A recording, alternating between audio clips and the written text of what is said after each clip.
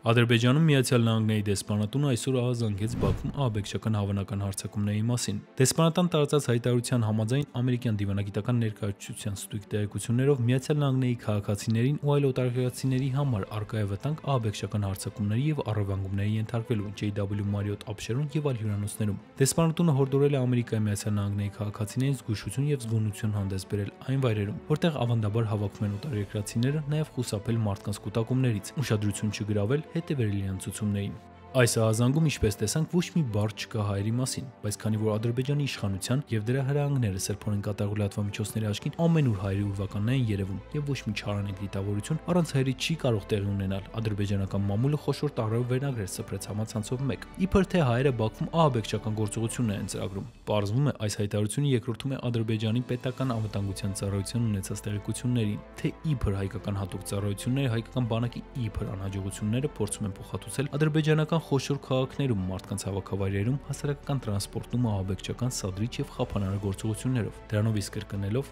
ի դեպ այս մասը հատկապես ցավշտական ցինիզմ է։ Մեջբերում եմ. 1980-ից 90-ական թվականներին ահաբեկչական նենգ եւ անմարտկային գործողությունները Բաքվի եւ այլ խոշոր բնակավայրերի անմեղ բնակչության դեմ եւ սա դեռ ամենը չէ։ Սեփական հանրության բանականությունը մթագնելու միտված այս կեղծարարության ճաշին որպես աղանդեր։ Բաքվի միապետի քարոչամեքենան փորձել է ամեն դեպքում մի ուրախ լուր հաղորդել իր հպատակներին եւ ներկայացնել կադրեր իբր հայ հայկական ռազմական ինքնաթիռի խոցումից, բայց ավաղ Ադրբեջանի մեդիա աշպարների հնամույթությունն այս անգամ էլ բարձրության վրա չէր։ Կարող էին գոնե համակարգչային ծրագրով աղավաղել 2005 թվականի Միացյալ Նահանգներում ավիաշոուի ընթացքում տեղ ունեցած ավիավթարի կադրերը, որպեսի վարկյանների ընթացքում չբացահայտվեր պարզունակ կեղծարարությունը։ Հիմա մնում է ավելի մեծ սուտ մոգոնեն, թե ինչպես իրենց հզոր հակաօթայինները հաջողացրել են խոցել ինքնաթիռ Արցախի երկնքում, որը ոչ ավել ոչ պակաս իր թռիչքը ավարտել էր 15 տարի առաջ օվկիանոսի մյուս ափին։ This is fake news.